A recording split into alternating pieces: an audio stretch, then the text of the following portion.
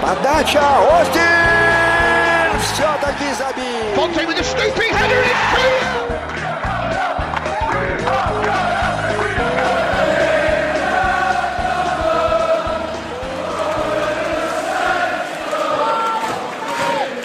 Hello and welcome to another episode of the Southampton Dellivery Podcast, a podcast dedicated to the Southampton Football Club and all of the SFC fans. My name is Matt Markson. I'm the host of the show. If this is your first time, I'd like to welcome you to the show You've been a long-time listener, welcome back. Thank you for subscribing and coming back. I hope that you enjoy the show. Now, this week, coming off of another disappointing weekend, uh, another disappointing home loss for the Saints against a team that we would expect to beat, that we as as fans, uh, as a club, would expect to take all three points from. And yet again, we are left disappointed both by the performance on the field and the points that we took away from the match. And uh, this is starting to become somewhat of a theme. We dominate possession. Uh, we don't really have any shots on target. We don't have any really clear cut chances. We don't challenge the goalkeeper. They nick a goal. They take all three points, and and we're left asking questions. And I think this is the first time that I've ever really felt very concerned about what's going on. And I'm not, I don't want to jump to conclusions about uh, relegation battles or things like that. Well, I'm, I'm sure if if it is that time, that that will make itself even more apparent, and I will eventually get there. And I know some people already are there. Some people already are asking those questions, and I think that's that's fine. I'm just not quite ready to do that. Just and maybe it's my own. Um, maybe it's just me looking at things uh, in, in the wrong way, maybe. But uh, we'll we'll see. So anyway, uh, not not the greatest week to talk about the club. Um, maybe a good time for us to go on an international break and kind of clear our heads and take a break. It's take a step back from it. But it's getting harder and harder to to kind of look at this in a new and interesting way when it's the same problems each and every week. But to help me do that is my guest this week, Jake Hughes, who is the editor at St. Mary's Musings, and we'll talk about his writing. Uh, he also writes about MMA. Uh, he's really in the metal, so we'll talk about uh, all three of those things. And I left more of that stuff in the show this week than in past weeks, simply because uh, I felt like something a little bit different was needed based on the fact that we were talking about the same issues that we've been talking about uh, for the last few weeks in terms of performances Saints have been putting in. So um, definitely heading into this international break, uh, disappointed, uh, but hoping that over the course of the international break and, and coming out of it and going away to a tough LFC match that we can maybe uh, turn things around. So I'm still uh, there. There's that optimism always there uh, for me, even when I try not to let it out, um, it is still there. So uh, we won't spend too much time here because uh, my chat with Jake is quite lengthy. But before we get to, to that, I would like to point you in the direction of the We Are Southampton page on Instagram. For match day edits, polls, competitions, and more, be sure to check out the We Are Southampton page on Instagram. Matt, who runs the page, was a guest on the show just last week, and also way back at the beginning. Uh, he's done the logo for the show. He's been a huge help. So I encourage you to head over to the We Are Southampton page and take part in everything that he has going on over there. The links to that are in the show notes. And with that being said, I think let's go ahead and get to the interview with Jake Hughes. Uh, you can get him on Twitter at JJHughes underscore, and you can find St. Mary's Musings at St. Mary's Musings. So be sure to head over there and check those out.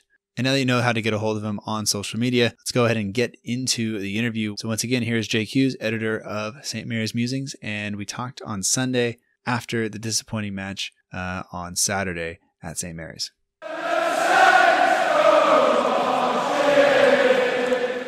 We'd like to welcome to the Southampton Dellivery Podcast, a podcast dedicated to the Southampton Football Club and all the SFC fans, Jake Hughes. You can find him on Twitter at JJ Hughes, and he edits St. Mary's Musings, and you can find them on Twitter at St. Mary's Musings, and links to all those are in the show notes. But Jake, uh, you know, we've been talking now for uh, quite a while uh, off off air, but uh, it's been good to kind of get to know you a little bit, and and good to finally talk to you on the show. And thanks for coming on.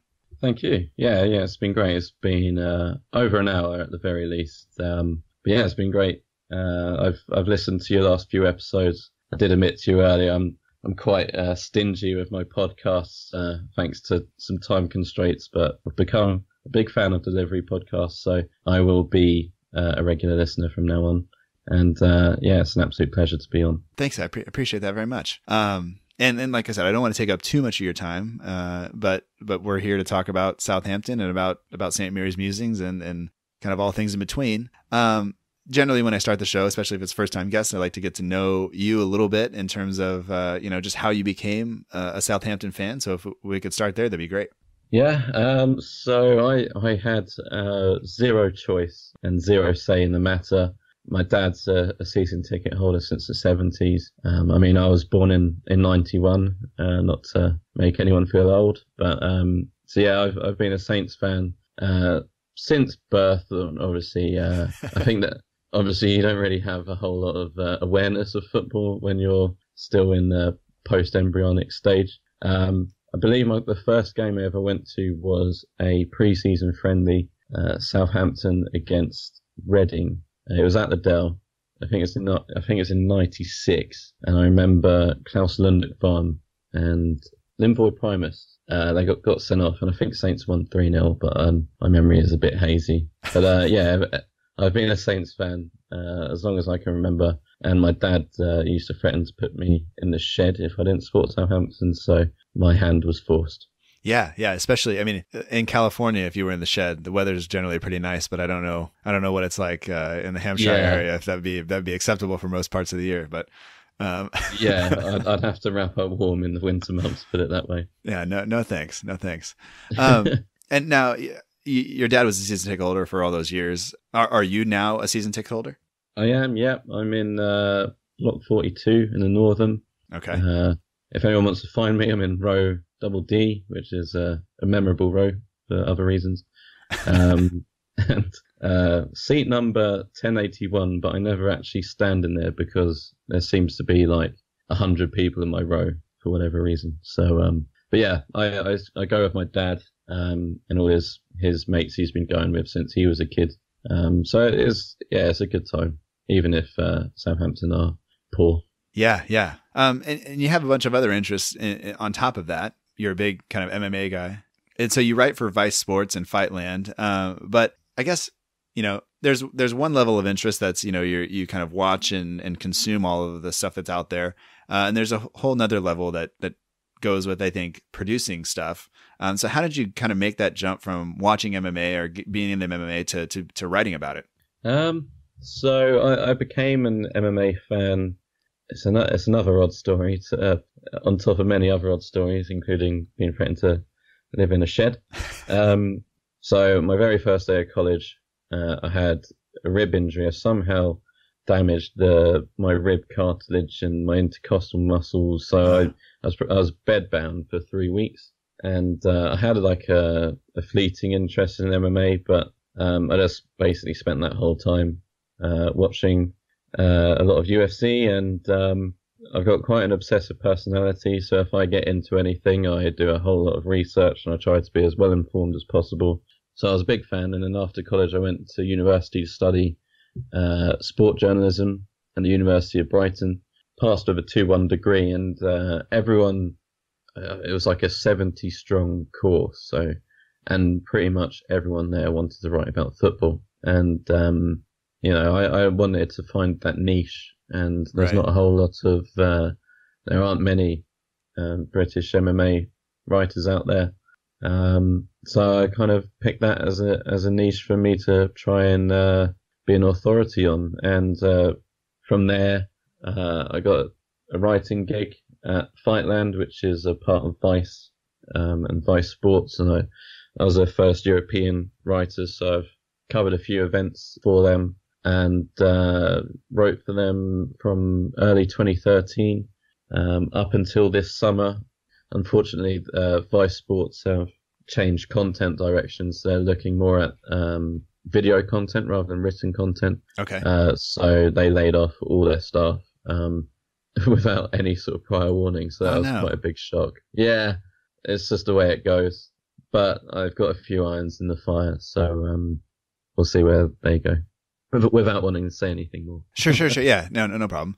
Um, and I'll be honest, I, I kind of like whenever I have a guest on, I kind of stalk Twitter timelines and, and things like that. So you've had, I think you've had some decent, like some decent sized interviews like through that channel in the MMA world. Is that is that correct? You've had you actually interviewed fighters and things like that. Yeah, yeah. So my my the first the very first um, UFC event I covered in person was in Stockholm, uh, Sweden. It was uh, I've got the fight poster framed next to me. Just it's yeah UFC Stockholm 2013 at the Ericsson Globe Arena, and it was uh, Conor McGregor's UFC debut. Mm. Um, and being from the UK, uh, McGregor was already a big name on the UK scene. So ahead of that, I, I kind of got the uh, I hate saying this word, but I got the scoop, I guess you could say, on uh, McGregor and uh, his coach John Kavanagh, who's since become a best-selling author. And yeah, and got uh, one of the very first um, interviews for him for a North American online publication.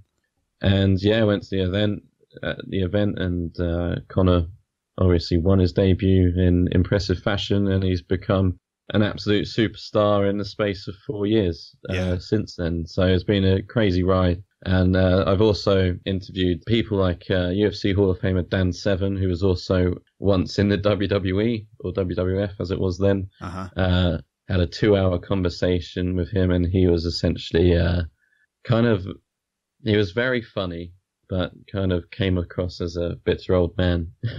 Yeah, yeah. Um, but I, I loved him for that. It was a very unique experience. But I, I've interviewed a lot of interesting characters and written about all sorts of crazy things from, you know, the general general MMA news and you know opinion pieces on stories that come out through there. And MMA can be a crazy world in itself, um, a crazy echo chamber. But I've also written things about you know Russians teaching uh, their people how to defend themselves with selfie sticks before they go abroad, and you know w- weird stuff like that. So uh, It's awesome. um, yeah, I mean anything I find interesting, I'm I'm willing to write about. So it's it's been a great experience, and as I said, um, I'm currently in an interviewing process with um, quite a well-known MMA publication. So hopefully, I can sort of uh, get back on that full time. Yeah, absolutely. Um, and, and just to kind of go one one more thing on the on the MMA thing is like Dan Severn is to you have to be a bitter old man to have fought in early UFC. You know, like there, there you can only be so much of a of a nice guy to to do that. And I remember my my grandfather who was the world's biggest WWF fan and really thought it was Oh, real. wow. Um, he would he would sit in his chair and he he was this ty- he was four foot eleven and a half. He would uh, sit there and, and and yell at the TV and stutter and all this stuff. And It was great, and we would always come over. And I remember early UFC, my uncle goes, "Hey, there's this new thing, and you know you have you already have the illegal cable box from Canada. We could watch it." And so my, my grandpa goes like, "Yeah, sure. Everybody come over and, and we'll, we'll watch." And um, he's a he's you know thinking WWF is real, so how bad can it be? And it was like it was uh, one of the UFC events where that guy broke. It was like the little tiny white guy versus the big giant black guy, and he the guy broke his arm or his wrist, like hammer fisting this guy in the side of the head. And my grandfather, I just remember like watching. I remember curling up on the couch, my grandfather watching with his jaw on the floor, and like my uncle eventually just turning it off and going like, okay, like I guess I guess we're not going to watch this anymore. um, but but even now, I have I have trouble. Uh, I can't I can't sit and watch. I I I wind up just turning away like for most of the fight. But um, but yeah, it's it is interesting and it's uh that's pretty crazy. It's a, it's a, it's an interesting world. Um, Yeah, I, I, I totally understand why it wouldn't be um, everyone's cup of tea, put it that way. I mean, um, when you would have watched your first UFC event, we're talking the very early days, and uh, to say there were very few rules um, would be an understatement.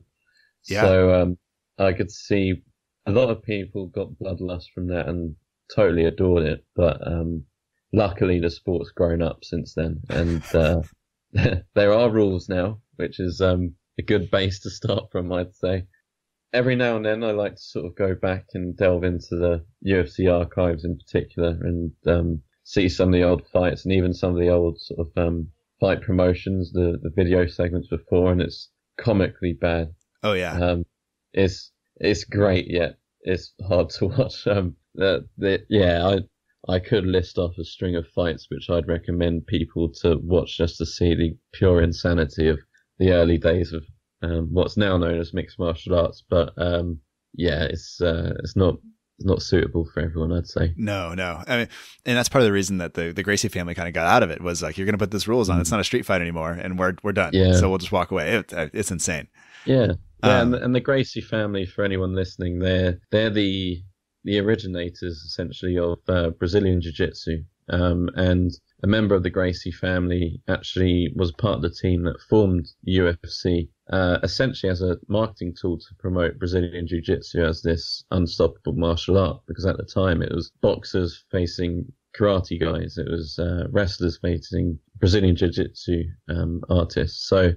Uh, so that was like its original form, and obviously it's evolved since then.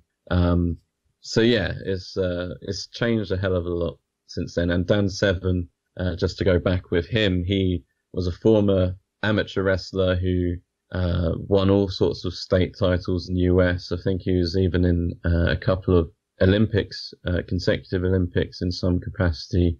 Went on to professional wrestling with uh, WWF and regional shows, and also fought in the UFC, winning belts there. And he is one of three fighters, I believe, to have over a hundred wins in MMA. Um, and you think about how much that sport takes a toll on you, it's quite incredible. And uh, he's still still talking about fighting now, and he's well into his fifties. Um, so it kind of gives you an idea what kind of guy we're talking about here. Yeah, absolutely. he's a unique character. Yeah, yeah.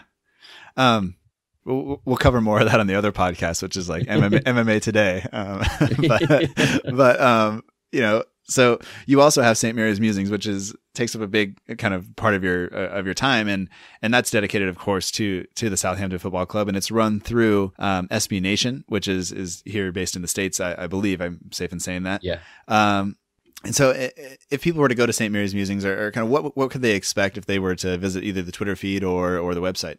Um, so the site's always been positioned as a platform for fan opinions, how however wrong I, I think they are. Um, a, a, perfect example was, I'm not sure if um, you remember this, Matt, but uh, two seasons ago, as as Leicester were sort of um, getting closer to the title, I allowed one of the uh, the writers to post something online about how he wanted Leicester to actually beat Southampton just to stop Tottenham from, and Pochettino from getting the getting the uh, the Premier League Championship. um, and oh my god, the uh, the response was interesting. Um, but yeah, uh, you know, I don't necessarily agree with everything people say, but I like actually hearing opinions, and that's what the the website's always been about. Um, if you have an opinion, great. I I want to be a platform to share it, and uh, it's largely been a platform to share my opinions. And luckily, I haven't rocked the boat too much, but um, just posting about the the Leicester that Leicester article was uh, probably the the most flack we've ever got, and it was uh, sizable. But uh, yeah, that's how I always wanted to position the site, just a sort of free thinking sort of uh, forum for fans to share opinions, and um, you know, without anyone there to tell you your opinions wrong. It's uh, yeah, it's just a place for free ideas, all Saints related. Yeah. All right.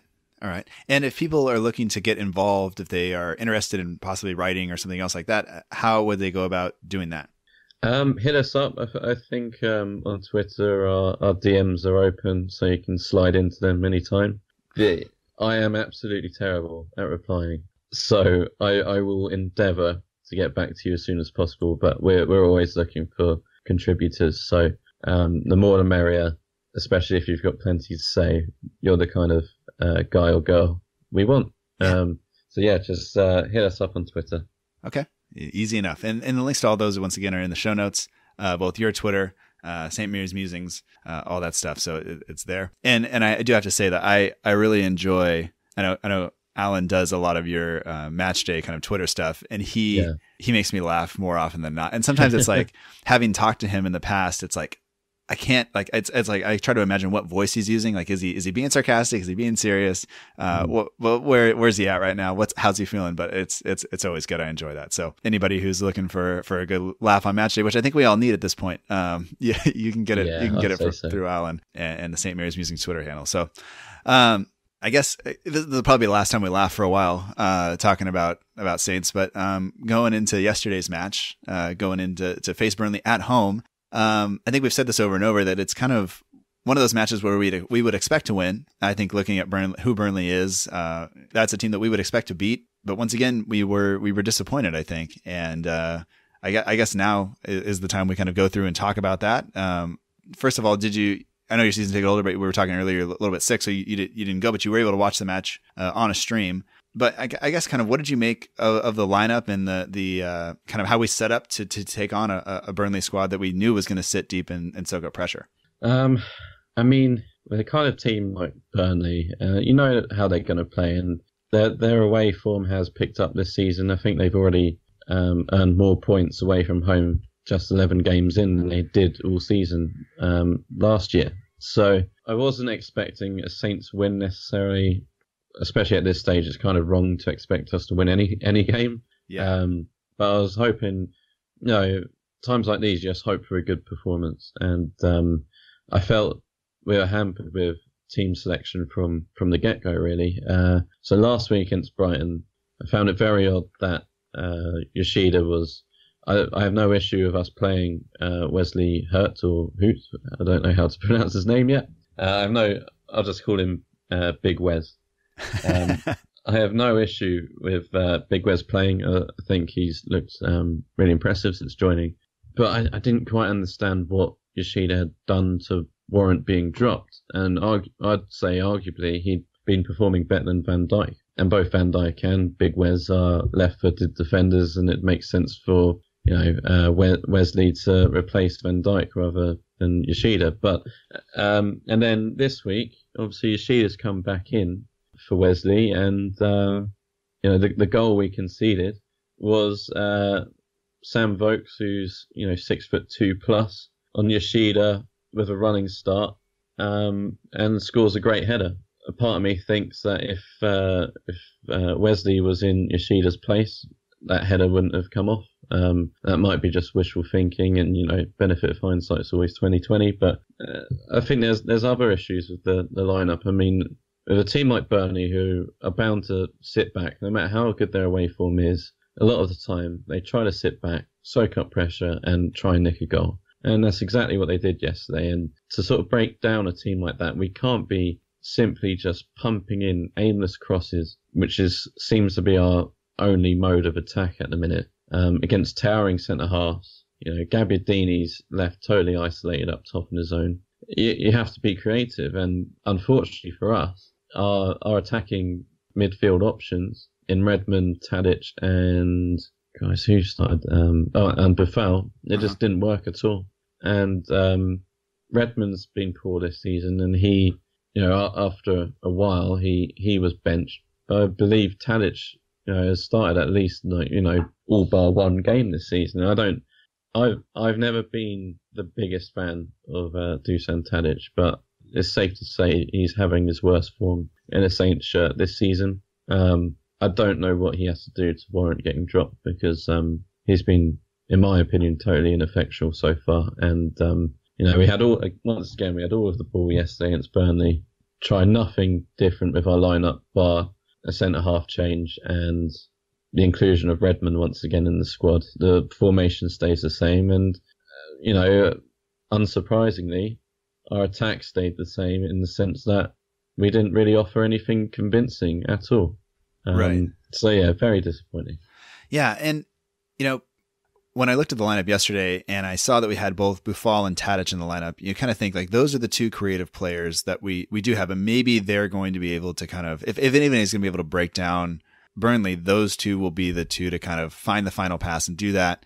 Um, and I think they switched out and in between playing centrally and, and playing on the wing, and um, a couple times or, or winger switch sides. And so I think I thought that was good. But like you said, we we kind of were relegated to just pumping crosses in, and that's exactly what Burnley wants you to do. They they are confident that they can defend those. It, we didn't try enough of the the quick one touch passing uh, to open up holes and be able to to to get a pullback and have a guy standing at the penalty area with a with a chance to have a shot. Uh, we didn't do that enough, and when we did do it, it looked like it was great, and it we actually had chances. We just you know couldn't quite do it. You got to do it over and over and over, and we just didn't do it enough. Um, yeah. Uh, like you said, the the center back situation is going to be difficult because, uh, in, in my opinion, you know Van Dijk is probably going to leave this summer which means you're going to have Yoshida and and and Hoot or Hoyt or whatever it is uh, there, and so both of them probably need to play. And I, have seen some people argue that Van Dijk should just be taken out of the lineup completely. You know, let and let's develop those two. Uh, let's develop that partnership together. But you know, I don't know. Van Dijk is probably our best player. He probably needs to, to be in the lineup. If if you got him, you, you use him. You don't pay him the wages and, and stuff yeah. like that to, to not have him in. But but then, like you said, you know, Tadic has been terrible. He's he's been he was bad last year, and he's even worse this year. Um, mm-hmm. But if you look at kind of, uh, I'm, I'm, looking at the team sheet from yesterday now. You know, Tadic, Davis, and, and Bertrand are the three and I guess Yoshida too, but Yoshida didn't start for so many of those years. Um, they're they're really the veterans on the team. You know, they've been there approaching the longest, and Forster, I guess too. But um, you look at those guys around him: Boufal, Gabbiadini, Redmond. They're all relatively new. Cedric's relatively new. So, so is Van Dijk. So it's you know may, maybe he's there just to provide that stability, but he really doesn't do that either. He's not he's not stable. He's not consistent. Uh, he's the the exact opposite of Steven Davis. You know.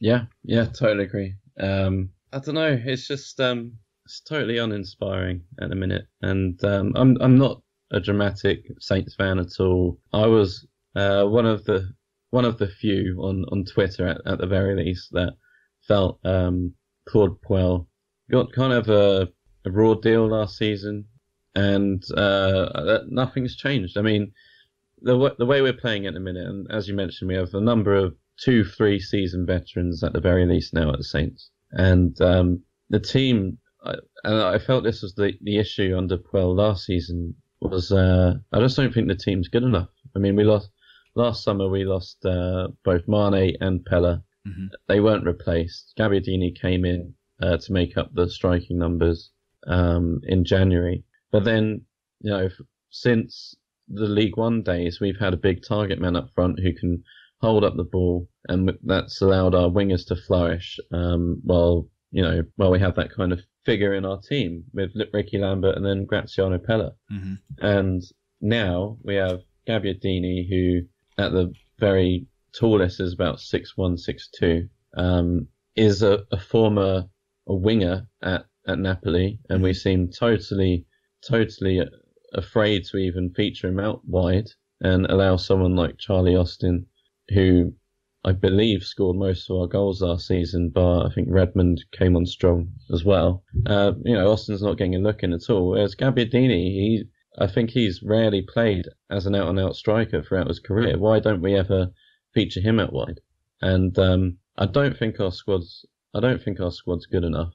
But I think another problem compounding that is the fact that Pellegrino seems unwilling to at least try different things, whether it's with personnel or tactical setup. And and this season, we, we can't even blame the fact that we sold our best players, bar losing Jay Rodriguez, who, you know, started a fair few games last season, uh, but wasn't our, our number one pick as a striker. And we lost Jordy Clasie on loan and Cuco Martina to Everton on a free. You know, we haven't lost that major player this season. And it, it seems like we just haven't strengthened the squad how we should have. I think any Saints fan worth their salt could see that we needed more attacking options mm-hmm. um, and an and an improvement in attacking options. And instead, we bought uh, a centre half in, in Wesley, and we we brought in Mario Lemina, who looks a great player, but you know it's not really helping the issues we have going forward, which was by far and away our biggest issue last season. So I I do feel resigned to maybe a relegation battle is is um, a bit extreme, but I would happily take 17th as our final position in the league just to ensure we stay up at this stage because our early season running was very much uh, one of the the easier ones. You know, we've drawn all three games against newly promoted teams. We've dropped points against Swansea, who are struggling. Yeah, and yeah, a number a number of games we should have at least got a decent result from, and we haven't. And we have a, a horrible Christmas run coming up. And come January, if we're if we're not around the relegation zone, then I'd be very very surprised. Right, right, yeah. It's it, it I don't know if I don't know if you've ever had a tattoo, but like the first tattoo I ever got, yeah. um, the guy you know does one line and he goes, "How'd that feel?" And I go, "You know, you know, didn't not not great, not not what I expected, you know. and, and then he kind of just said, "Well, it only gets worse from here." And then he kind of cackled and, and went about his business, and and that's kind of what we're looking at here. Is it, it, it the, the schedule in terms of, of, of what it looks like, it, it only gets worse. You know, we, we, it, doesn't let up until after the, after the Christmas period and it's going to be, it's going to be difficult. But, you know, there were people on Twitter yesterday saying, you know, no matter what, no matter how you feel about the manager or the players, whatever, we have to get behind him at the game time. And, and I'm, I'm totally with that. But I think each and every week it, it gets harder and harder to do that. It gets harder and harder to sit there for 90 minutes and cheer something that you know from the outset probably isn't going to work. And, you know, I think we see a problem in any aspect of our lives and you you address it and you change something, you try something new and it seems like we see a problem on the pitch you know, Pellegrino has to see the problem on the pitch, and then we're not necessarily trying anything new to try to address that. Uh, and I think it's frustrating for for fans, especially especially season ticket holders who spend uh, their time and their money to to to go down there and and and support the club every week and want to see something that is uh, attractive and, and attacking and it, like you said, just see a good performance. And we're not we're not even getting that out of it. Yeah, yeah, you're totally right, and and that's the issue. I I, I think you know if we do go through the Christmas period and we don't pick up many points, um, and we're going to be in the relegation zone or in or around it. I mean, the, the league the league table as of now is so close. I don't I don't see that changing. I think anyone from 13th, 14th down is going to be you know at least within two games, a potential two games away from being sucked into a relegation dogfight. And um, you know, if we do have the poor December, which I think most people expect us to have, um, and we are in or around the relegation zone, and it's all an uphill battle from there. And um, if you think the the atmosphere around the club is fru- you know frustrated or even toxic at this stage, it's going to be so much worse when you know the big teams come to town and give us a pasting which looks fairly inevitable at this stage. And um, I think that's a, a worrying thing. And and you shouldn't really um, focus too much on the, you know, the ifs. Uh, you know, if this happens come uh, come December, January, you know, no one truly knows what happens, and we might somehow surprise a few people and pick up some good results. But you know, all you can do is base your opinion on what you have seen so far, and it's not looking promising at the minute. And um, as you say, Pellegrino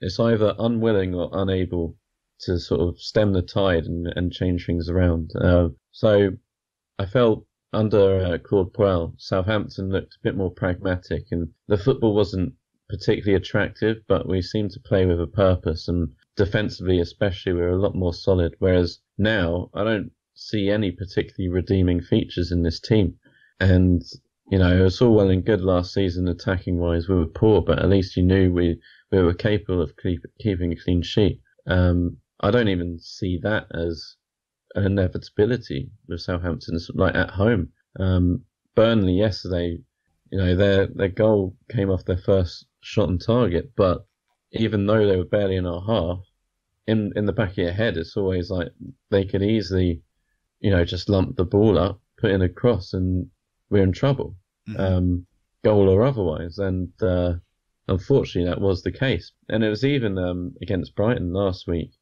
you know, Southampton fans especially, but as a football fan, you shouldn't feel entitled to get a result against a newly promoted team. Like Southampton not so long ago were in that position, whether it's from the League One to the Championship, where we didn't, you know, escape the top two um, the whole season in the Championship as we earned promotion to the Premier League. Um, it's, it's, I guess it's, um, you know, it's not always a given that you're going to pick up results uh, especially away from home at a newly promoted team. But on paper, that Brighton team, while while strong in the championship, Southampton should be looking to get a positive result. But if anything, I felt Southampton were the team that were there for the taking. We, especially in the second half, we were totally scared to attack Brighton. And if we weren't scared, we looked totally incapable of attacking Brighton and actually getting out of our own half. Um, I was at the Brighton game last week, and uh, the away end was, is behind the goal we were shooting towards in the second half, and I could probably count on one hand how many times we actually approached their goal. It's uh, yeah, it, it's very concerning. I'm not resigned to you know the ultimate doom of relegation just yet, but come January, if things don't pick up before then, or somehow throughout this December period that we've got ahead of us, um, I do feel we're in for very interesting times and not in a positive way. Yeah, absolutely. And kind of similar to last year, you you start to see that the space between, you know, 17th, 18th and and you know, 8th or 9th is not very much and then the top half of the table, you know, the top 4 are probably going to pull away, the top 6 will be uh, you know, a little bit closer, but that is is kind of what you would expect. So if you go through a run like we are set up to do, kind of where you have a, a difficult run of fixtures, it doesn't take much for you to to drop down the table. I mean, we dropped from 10th to 13th uh, place yesterday, Um, Yeah. off the back of of one loss, and uh, where we actually had a chance to you know to jump up into to eighth or so. Um, but you know, it is it's disappointing, and I think it's it's not what anybody expected out of us. But you know, um, you you mentioned at least last year there was some sort of identity to the team in terms of how we played, and this year we're kind of struggling for that uh, because we don't really know what to expect other than yeah, we just don't know really what to expect from from the team when they go out there each, each and every week. But you know, we didn't add a whole lot to to the attacking end of our of our lineup over the summer, like you mentioned, and so I think it was always going to be difficult to to expect us to really go out and and and become that kind of side that we saw either under uh, Pochettino or Koeman, but both had very distinct kind of styles, and then and then even Puel last year had at least his idea of of of what he wanted to do. But it, it seems like Pellegrino is really struggling to kind of decide what that is or figure out what it is. Um, and I do have a, a, question. I don't really think we need to to belabor yesterday's kind of match because I think we all kind of saw what it was. It was it was slow. There were there were not enough shots on target. There were uh, you know, and then we concede from the one chance that we give up. Um, and I'm kind of tired of saying that you know we dominated possession uh, because that seems to be a given with us uh, recently. But we only had two shots on target yesterday for the entire match, and if you're going to have 60% possession and and not be able to do that, that's just not that's not good enough, you know. No, no, it's not good enough at all. Sorry, I'm, I'm As a kind of a, lo- a loss for words, uh, getting Yeah. frustrated over over over looking at it all again. yeah, um, and that that reminds me of the uh, if you ever want like a, a true sort of indication of how your season's going to go, just look at the first game against Swansea. I think we had um, I'm coming up with these at the top of my head, so I could be wrong, but I feel like we had uh, around like 60% possession, around 30 shots, but only two on target. Mhm. And you know, this is still in August. And if anyone's sort of um, watching that game and thinking, "Oh, this is much better than last season," then I, I don't know. I, I, I wish I was seeing what you're seeing. Like if I, if I was Les Reed, say, I'd be like, right, we still have plenty of attacking issues. Maybe we should go out and buy someone. And as I mentioned earlier, like I really feel that Puel got sort of uh, the raw raw end essentially last season. I, I feel like he did a decent enough job um, with a group of players which aren't particularly exciting to watch. And you know, I think Claude came out last week um, upon taking the, the Leicester job and mentioned that um, he got he got sacked from Southampton due to uh, a dis a disagreement uh, with the board in terms of ideas of what course uh, they want the football club to take. And you can read into that in so many ways. You can either look into that and think the board are expecting too much from the current crop of players we have, or Claude Puel saying that we can only play this particular style of football with this team, um, and the board had different ideas, or maybe even Claude Puel said we need more investment in the squad. And I think there's an argument for all three of those points. Um, Yeah, yeah. Obviously, he, he hasn't exactly said uh, what happened in their meetings, but the indication I get is the board didn't like his style of football and have went out and recruited Mauricio Pellegrino, who came off a good season at Alaves, but they largely played very defensively, purely because they're a newly promoted team and surprised a few teams uh, in the Liga, to be fair, but Mhm. the, the football was not exciting. And if the board sacked Claude Puel for the reason that the football wasn't entertaining enough, then Pellegrino's not, not the man they should have appointed. And it, even now, it, it still irks me a little bit because the writing was on the wall clearly for Puel for a very long time. hmm Yet it took at least a couple of weeks for the news to come out that he'd been sacked. And in that time, you had the likes of Marco Silva going to Watford, who rumour has it was interested in the Southampton role should it be free. hmm And look at the job he's done at Watford. And we've ended up with Pellegrino, who was interviewing with uh, Crystal Palace, I believe, um, at the time Puel got sacked. And, you know, was Pellegrino really the number one choice for for the Saints board? Um, and and also on a human level, I think it was wrong to string Claude Puel along. Like, how long does it take to? I remember Les Reed said something along the lines of the week following the season they were going to have a meeting regarding Claude Puel's future, Right. and then it took another couple of weeks for it to come out that he'd been sacked. And that might have been down to negotiating a severance package or something like that. But, you know, while Claude Puel was left in limbo, there's rumours that uh, Saint Etienne in France wanted were interested in Claude Puel, but he was technically still Southampton manager, so couldn't even approach him. Um, so I feel like Puel's landed on his feet at Leicester, which was a fairly surprising appointment. hmm But at the time, I was thinking, look, you're clearly going to get rid of this guy. Why don't you just do it now and be proactive in attracting a manager which you feel um, has the style to suit the club identity you've been trying to build for years, and actually let Puel, you know, explore the market for himself. But as as felt, it's all been handled really poorly, and um, I think that reflects in our squad recruitment as well this summer. It, it was deemed a success that we didn't sell Van Dijk over the summer. But then, even without the benefit of hindsight, I remember tweeting at the time, how can you call this transfer window um, a victory when we still haven't bought any attacking options, which was clearly the issue we had last season? Yeah, I don't know. I'm, I'm talking a lot, but it's, No, no. get off your chest. Yeah, absolutely. Uh, this is, if, if nothing else, this will be therapeutic at least, and hopefully, yeah, very, very Yeah. much so. I, I went on a, uh, oh wow, it was a six tweet rant, I guess you could say, on, on Twitter yesterday. I did try and remain as controlled as possible, but, but, but one of those points, um, is the fact that, uh, in the last 18 Premier League games, and, you know, I'm not absolving Puel of all criticism because, you know, our poor form essentially started at the end of last season. Mhm. Um, but in the last 18 Premier Premier League games, which factors in seven from towards the end of last season, uh, Saints have earned just 16 points. Um, God, that's terrible. and that, if that's not relegation form, I don't know what is. And again, the the caliber opponent we've faced so far this season suggests we are.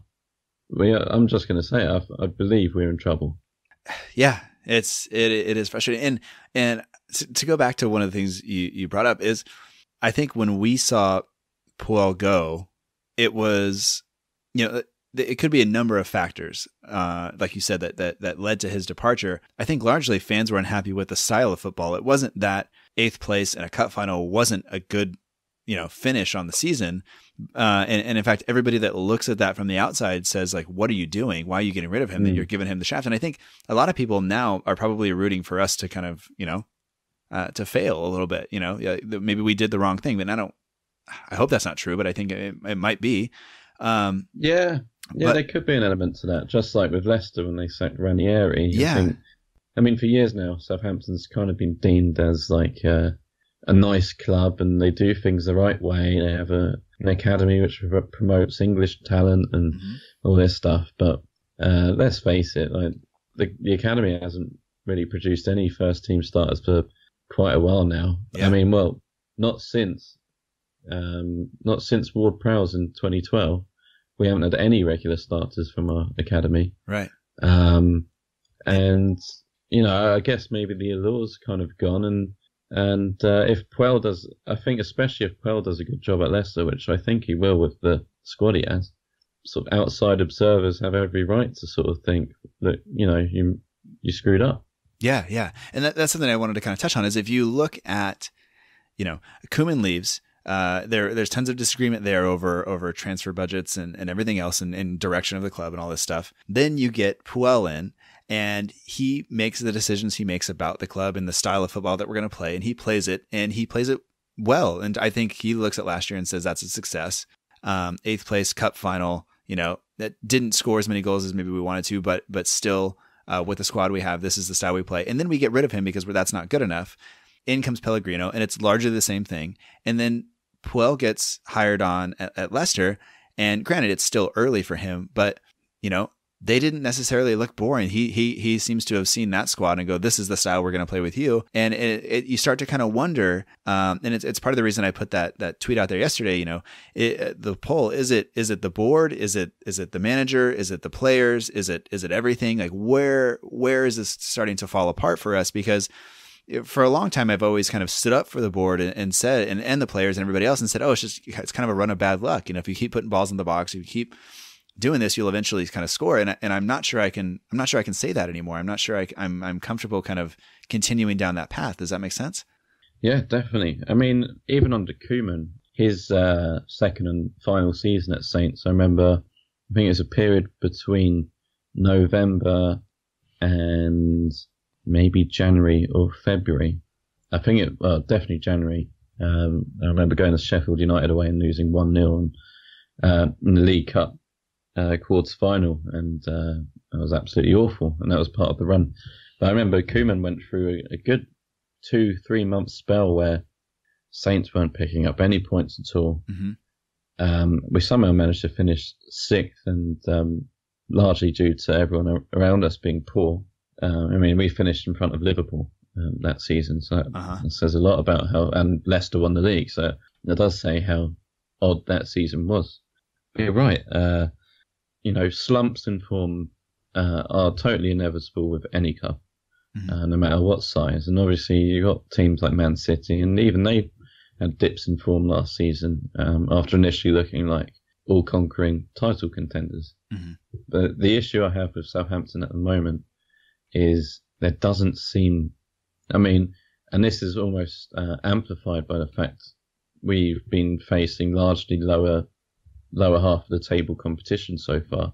There doesn't seem to be any upside, um, or even like a light at the end of the tunnel um, with our upcoming fixtures. You know, if we can't beat these teams early in the season, what what you know, how does that co- correlate with the second half of the season where we have to play, you know, Watford away? They beat us at home 2 0. Mm-hmm. You know, mm-hmm. can we expect to take points away from there? And in terms of the underlying issues, I I feel so. As you said before, you you've supported the board plenty of times, and I think it's totally undeniable the likes of Les Reed have transformed our club in a very positive way, um, and to overlook, you know, the job he has done at Southampton would be um, entirely wrong. Mm-hmm. But you know, he's not only a director of football, I think that's his official title, but he's also a member of the board. And I think that's inherently a bad thing because it kind of makes him untouchable and also doesn't really uh, promote any form of cul- culpability because, you know, how often do you see board members sacked by each other? Um, it's rare. Right. And um, I think the issues we've had is obviously he's been a major part of the decision to let go Claude Puel. Um, I can't say I was totally angry at that decision, but I do feel I'm maybe like 70 30 on thinking that he should have been given another season. But also, not only is he, you know, as I said, a director of football, but he's also a member of the board um, and has a large say on any signings we make. And if he couldn't see that we had clear issues within our squad, I think across the board, not just attacking wise, but um, you know, e- even with uh, formation, we seem absolutely hell bent on playing this four-two or four-three-two-one formation with two wingers, very dependent on these wingers. When last season Redmond was good in uh, you know monthly patches, but wasn't mm-hmm. consistent enough for me unlike uh, well even Mane in our formation would have patches of um, looking fairly average. Yeah. Um, and Ta- and Tadic didn't perform well at all last season, so I don't think there was any.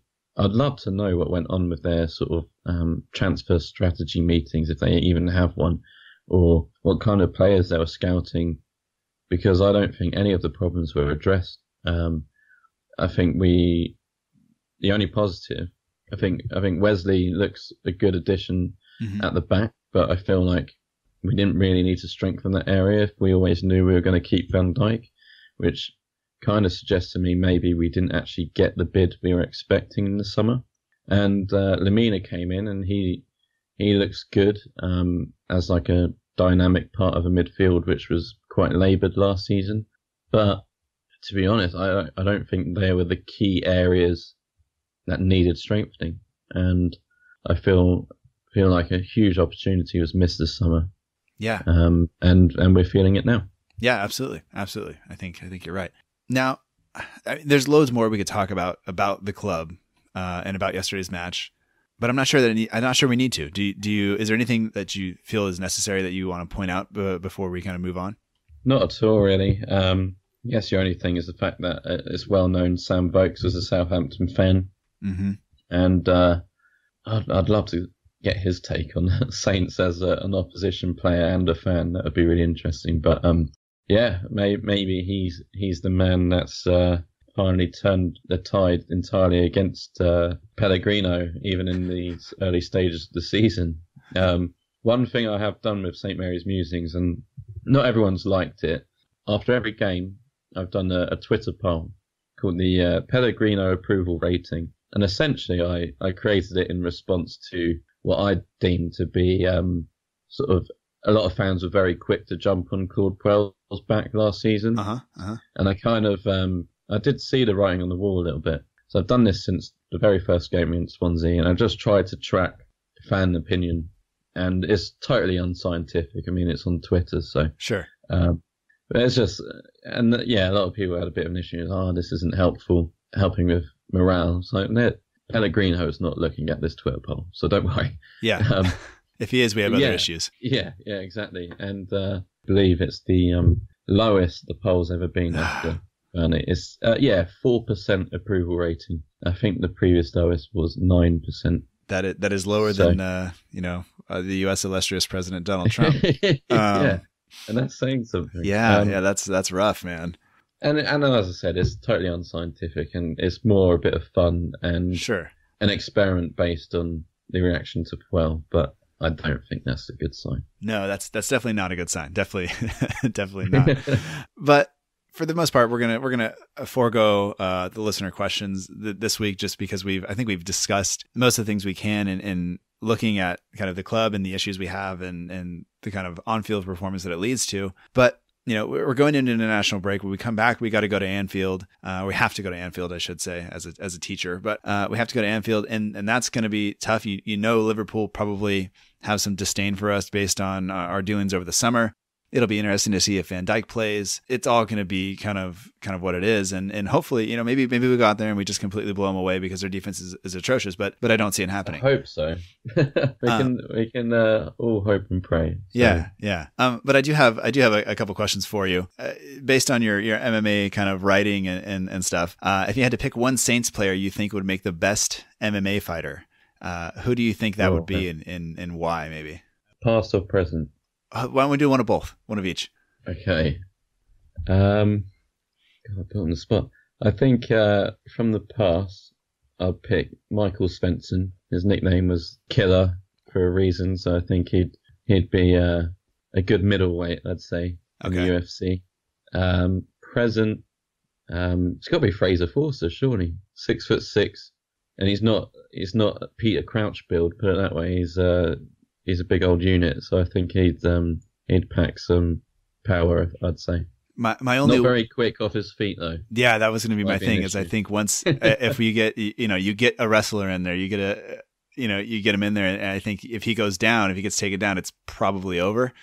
Um, but I. I was I was thinking like maybe Lemina just looks like he's just mean enough to get it done. You know? Yeah, yeah. He's got a good build for it as well. He's got very long limbs, which obviously helps with reach. So um, uh, that's a good shout. I went. Perhaps I was more thinking about the old UFC days, um, the freak show fights. Just yeah, get Forster in there to yeah. throw some haymakers. Yeah, but um, uh, I also you, you mentioned uh, or on your, on your, Twitter on your Twitter feed you you like metal, right? Uh, in terms of music. Yeah, I do. Uh, yeah. You have a favorite band? Oh, again, tough one. Um, and also, my, my love for metal can also be directly accredited to my dad because that's all he listened to when I was a kid. Okay. Um, I'll talk about bands I'm listening to now. I'm listening to a lot of um, After the Burial. Okay. Um, I don't know if you would have heard of them. Uh uh Um, they're they're quite um, on the quite high on the heavy scale, I'd Okay. say. So again, not everyone's cup of tea. Um, and then bands I kind of grew up listening to. Um, I'd always love uh, System of a Down, although I'm not sure if you can really class them as a, a metal band. And I, I grew up. Um, I was still quite young, but I grew up when new metal was a thing, Uh huh. and I like I liked most of those bands, bar like Limp Bizkit. Right. Um, right.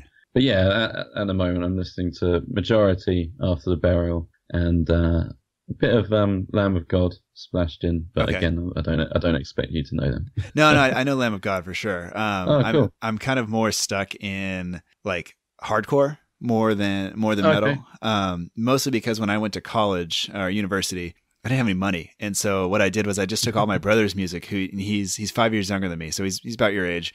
Um, and so he had all this hardcore music because he was skating all the time and stuff like that. And so I started listening to that on my my first ever iPod, my iPod Nano.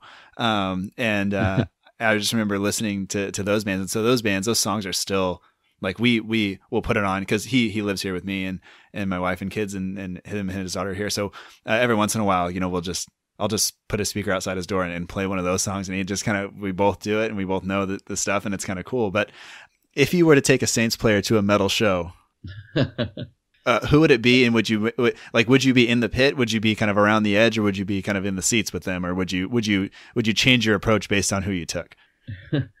so I'm I'm always in the standing section, not always in the pit. I used to always be in the pit, but um, I now go to most gigs with my girlfriend, so I don't tend to just sort of leave her to one side and then get bloodied up to return to her anymore. So um, Yeah. so yeah, I still love it, and every now and then I get involved, but not so much. But again, like if I wanted to go in the pit, I'll probably just bring Fraser Yeah, because uh, either he's going to scare everyone off because he's so so bloody big, or he's going to be a target in the pit, uh huh, which obviously gives me an easier time. yeah, absolutely. And uh, although it might be an issue because he is six foot six, the crowd might get quite annoyed because he's so tall. yeah, Uh, they might not be able to see the stage, and he's wide as he is tall as well. So yeah. I haven't factored that in. But if I'm thinking purely pit, yeah, I'll, I'll get Fraser in with me. That sounds good. That sounds good. Well, thanks for being willing to answer those. I, I, I figured uh, it was a good chance to be able to ask some questions that weren't related to the club, and I, I like to do that. And and uh, you know, let, let's face it, we we could all use a little bit of a laugh and a distraction. And I think maybe this. Uh, for that reason, for us, maybe the international break comes at a good time where we can kind of just relax and watch some some truly meaningless uh, qualifiers. For the most part, most countries have either qualified or not. Uh, a few have play-ins, but uh, I think you know hopefully just enjoy Yeah. this this this this two weeks and and come back and be ready hopefully for Liverpool. Yeah, and also because most of our players have been so poor, a fair few of them aren't actually playing for their countries, which Right. hopefully gives them a bit of a break and uh, will be refreshed for Liverpool. Yeah. As always, it remains to be seen. Sure, sure. Well, um, thank you, Jake, for for coming on. I, I do I do appreciate it, and uh, I'm, I'm always up to do this again if you're interested. Definitely. Thank you for having me. It's been a lot of fun. And uh, hopefully next time I'm on, it won't be coming off a loss and uh, I'll have something positive to say. Yeah, yeah, Um, to anyone listening, I do apologise. I don't mean to be negative, but uh, I, fi- I do find it hard at, at this very moment to find any positives coming from the Saints squad, uh, any player, um, and from any performance. So um, ordinarily, I'm not not overly negative. Trust me. No, no, I don't. I, and of course, maybe it's just me saying this because we're we're talking now, but like I don't think we've been overly harsh or critical, and, and we'll find out if we were. But I think I think we're kind of just calling it like we see it, and I think based on you know the poll you ran and, and the poll I ran, um, you know, I asked where are Saints going wrong, and I said is it boardroom manager, players, or torch it all, and forty one percent of the people said torch it all. So, um, you know, I don't think That- we're the only that's- ones who who are feeling this way. That was an interesting part of your poll, which um, I forgot to mention. Is I believe uh, only eleven percent um, of the vote went went towards players, Yeah, and obviously Torch It All incorporates players as well. sure. But I do find it interesting that um, even now, I feel the attitude is more.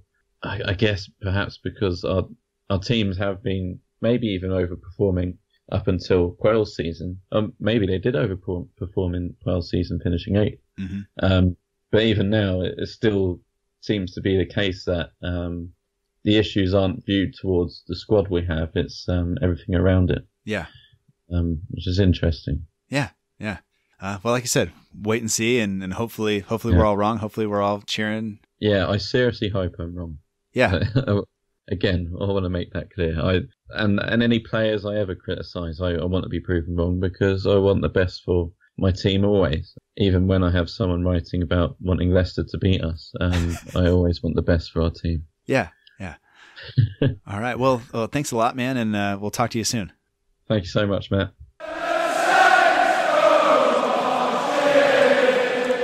And once again, that was my conversation with Jake Hughes. I'd like to thank Jake for coming on. You can get him on Twitter at JJHughes underscore, and you can follow St. Mary's Musings at St. Mary's Musings. The link to their Twitter profiles and the website are in the show notes below, so be sure to check them out and give them a follow. They have lots and lots of articles and, and, and Saints news and things coming out, so be sure to do that. And as we as we said uh, before the show and and and even during the interview, coming back from this international break, we have to go to Anfield. Uh, that is going to be a tough match. It's going to be a big match. And it's going to be interesting to see how the team line up and how they play. Uh, this is this this begins kind of the real kind of test for us as a club, if given the teams that we played the first 11 matches, uh, the number of points that we've taken, now we're going into a run of fixtures where things are going to get much more difficult and we're going to still need to pick up points because we can't afford to drop points in each of these games or drop all of the points in each of these games uh, without really risking being in the relegation zone or in and around the relegation zone um, come come Christmas. So uh, hopefully that is is not the case, but it, it remains to be seen and and we will we will see. Um, and I think that pretty much does it for the, the Saints FC portion of, of the show. But before we end this episode of the podcast, I'd like to give a shout out to Jay Hamination, who left a four star review on iTunes. Four stars, not five, obviously, but uh, I'd rather people be honest than um, just pat me on the back, but it still feels good to get to get a review. So here it is. Uh, Jay Hamination says, "Good Southampton podcast. As a Saints fan living in the USA, I don't get a chance to connect with the community of Saints supporters, and this podcast is really great at giving you a feel for the community and what other fans are saying. And so I do appreciate that. It makes me feel like I'm doing a, a good job, and lets me know that people appreciate it. You too can also leave a review on iTunes or wherever else you get your podcast, and it helps other people find out about the show. Uh, another good way to do that is just to tweet the link at somebody, uh, tag somebody, uh, take their phone and, and actually download the show for them and say, here, here listen. Uh, that helps. Uh, any, any way that you can spread the podcast, it helps one more person find out about it. And hopefully that turns into one more person who listens on a regular basis and provides me feedback feedback and we can continue to make the show better, which is ultimately uh, my goal. So uh, hopefully you will do that. And you can find this show on iTunes, Stitcher, Acast, Google Play, TuneIn Radio, or wherever else you get your podcast. And you can subscribe at any of those places, including YouTube and SoundCloud. And you can also find us on Twitter at SFCDELL underscore IVERY or on Facebook at facebook.com forward slash SFC Dellivery. There is no underscore in the Facebook address. Uh, follow us along on either of those. Uh, drop us some feedback there. Leave a review on iTunes or somewhere else. Uh, that always, always helps. So uh, I'd like to thank everybody who has done that, who has either liked the page or shared, this, that shared the show or written a review. I really do appreciate it. Thank you very, very much. And I think with all that being said, I think that's that's enough. Um, for this show. I hope that you enjoy your international break. We will be back next week with an episode. Uh, it will be related to Saints, uh, but not directly talking about the team. And uh, I think you'll enjoy it. And I look forward to, to talking to you then. But um, until next time, remember that together we march on.